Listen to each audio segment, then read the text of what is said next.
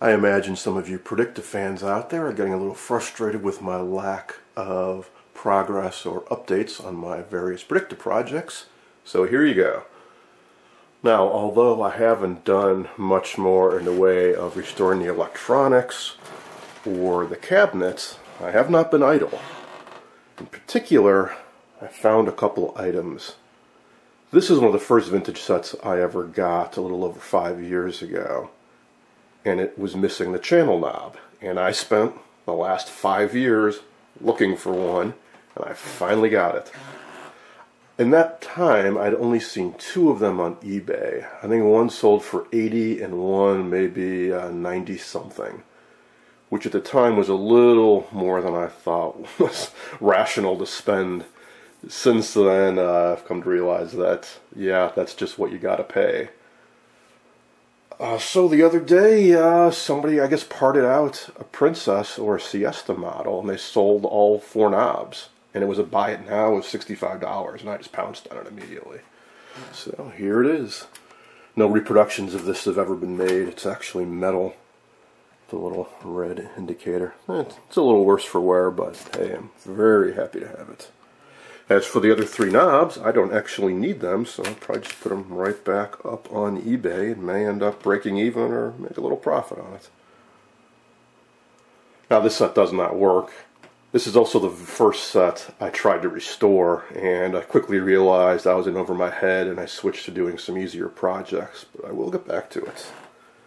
Now, as for the tandem sets, couple updates here. One, I ordered up three sets of reproduction knobs. I'll uh, put a link in the description of where I got these. Very nice quality. So I got two sets of brown for each of my mahogany tandem sets and one of the blonde. And uh, it may look odd that these don't have any printing on them, but that is how the originals were. So this is the one that I sort of just trailed off on. Uh, I did spend a bit of time refinishing the cabinet, and I finished restuffing one of the circuit boards, and then I was working on the main chassis, which had some rust. I had to replace a bad socket, and so on. Well, I'm glad I paused. In fact, I wish I had paused a lot sooner because of what's in this box, which just arrived. What should be in here is one of these. No legs, no CRT, just the box with the chassis, the back, and so on. So what I wanted to use this for is parts to fix these two. If you recall, the blonde one is in amazing all original condition inside, but the CRT connector on the back is broken. So I'm hoping I can scavenge one out of this set. And depending on the condition of the cabinet or the chassis or whatever, I will use other parts on this to restore this one. In fact, although I put a lot of work into this cabinet, if this one's in better condition, I think I'll go with this one, and that one, I don't know, I'll sell it or give it away or something like that. So if you recall, this one had been in a bit of a fire. I mean, the set didn't catch on fire, but it was near a fire, and it got a little bit damp, and this edge had got a little damage, which I pretty well took care of. Uh, but the bottom piece, this piece of masonite, got wet and swelled up. And my plan was to dampen it and clamp it down and try to salvage it. But I don't need to do that anymore because I got the one out here. So if this cabinet's really good, I'll use this one and just use the legs from the set. Uh, same goes for the front, although the front's in pretty good condition. You know, I'll just, I'll, whichever one's in better condition, that's what I'll go with. So let's pop this box open and see what's actually in there. The seller did uh, shoot me a few photos before I bought it from him, um, but uh, did not show the inside. So I'm kind of curious to see what condition it's really in. I just popped the top off the box and I can see that it's upside down. Uh, huh, wonder what this is. Maybe the seller included a bonus item. I'm not sure. So here's that masonite bottom I was talking about. Looks to be in great condition. Hmm, I'm curious to see what's in here.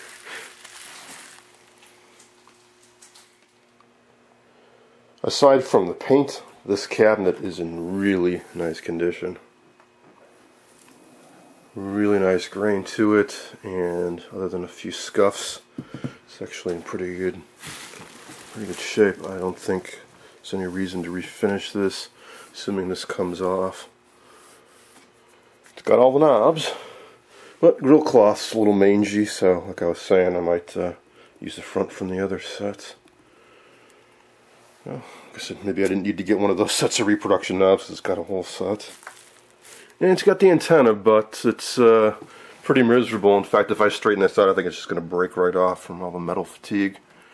But it does have the base here, so perhaps I can take off the telescoping part and replace it. Don't know. There's back. There's a CRT connector. Looks to be in fine condition. Back's a bit chewed up. So let's take a look inside. I brought the set into another room with better lighting and I just took the back off.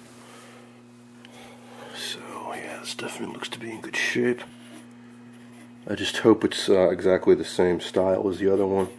I've seen uh, two slightly different chassis variations amongst my sets. Alright, well, here's the socket that was bad in my other one. This one looks to be fine, and I don't see any corrosion, just dusty and dirty. Where's the upper tube's gone? Let's see down inside there. So the rest of the tubes are present. Looks to be in decent shape, other than a big fuzzball down in there. Hopefully there weren't any rodents living in this. Speaker looks to be fine. Alright, so pull the chassis out, take a closer look at it.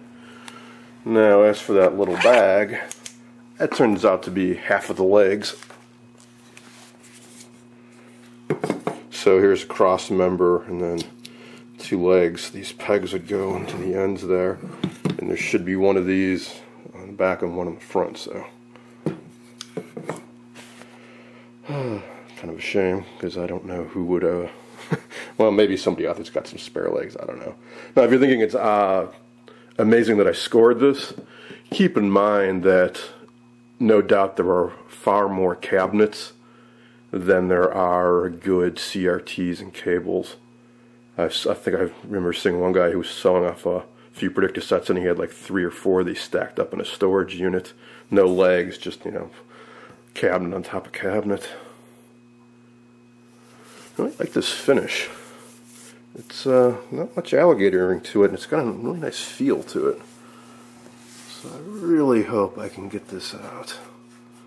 Maybe do a light sanding, put on a fresh coat or two of lacquer, which will take care of these scuffs.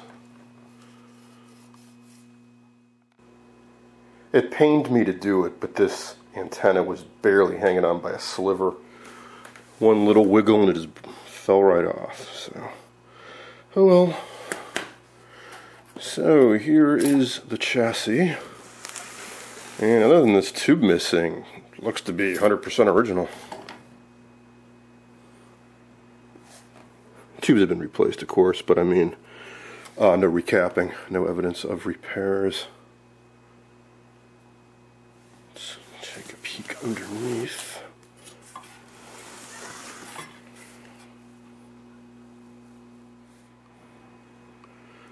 So the fusible resistor on the top side looks to be intact, as is the filament surge thermistor. And this might actually be okay too, although I see that nasty green corrosion. It's always a bad sign. And uh, I don't see any repairs under here either. And I also don't think any rodents were living in this. I think they're just some dust bunnies. Alright, so, yeah, I, uh, again, just like the cabinet, it's painful for me to say it, but I don't see any reason to restore the, continue restoring that other chassis. I'll restore this one. Now, I may use the circuit board that I recapped in this set but I'm not going to restore that chassis. I may just pop that board into this one because this this one's in uh, much better condition and I'll just uh, part out the other one for any spare parts I may need.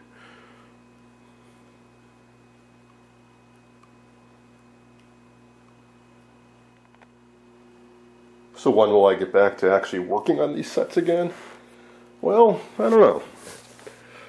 I definitely want to finish off a couple Philco radios first, 3862 and the 60MB. Uh, maybe not refinish the 60MB, but I want to get the chassis working. I'm actually almost done with it, as you'll see in an upcoming video. Uh, and then I want to finish that GE set, which is very close to being done. And, uh, and we'll see. Hope you guys enjoyed this update on my Predicta sets. Actually, this video is not quite over yet. I decided to go ahead and do a little more work on this. So I took the legs off of the other cabinet and put them onto this one. So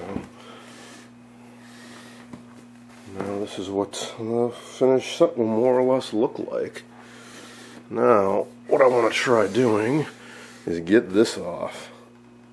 To do so, I'm going to try using some steel wool and some mineral spirits as a lubrication. Probably use water too, um, just as long, as long as it doesn't hurt the finish. Certainly don't want to use lacquer thinner or anything like that. And I don't want to use Howard's because uh, it's got a tint to it, and I don't want to alter this color at all because it looks quite nice. So, um, and as far as uh, braiding it, yeah, it's going to make the surface dull where I go over with the steel wool, but my plan is to actually lightly sand down this whole thing and then put on some fresh lacquer to uh, take care of this crazing and fill in any voids. Uh, most of it's not too bad, but I, I notice in this area it's kind of like a spider web of alligatoring.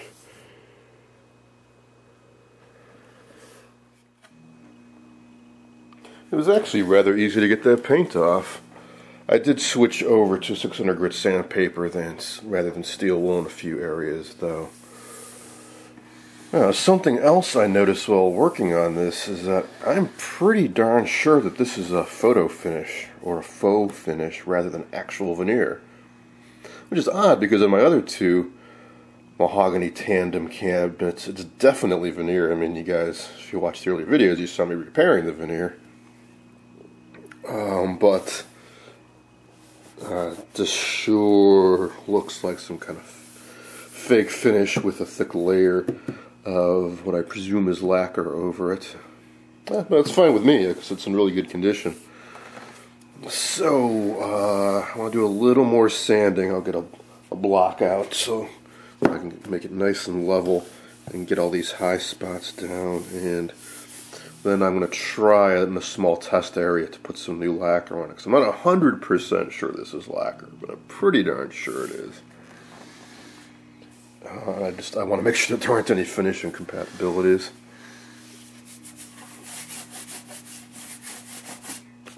And as for the antenna, uh, I'll just uh, transplant the one from the other set. This is the uh, the other cabinet that I've been working on, so this will fit in here just fine. It's pretty grungy, but uh, I think it'll clean up nice.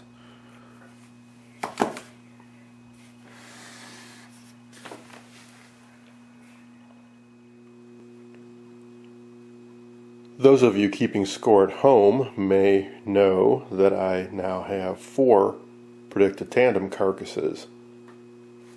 The blonde I got recently that was smashed after an eBay purchase and I just got the base units.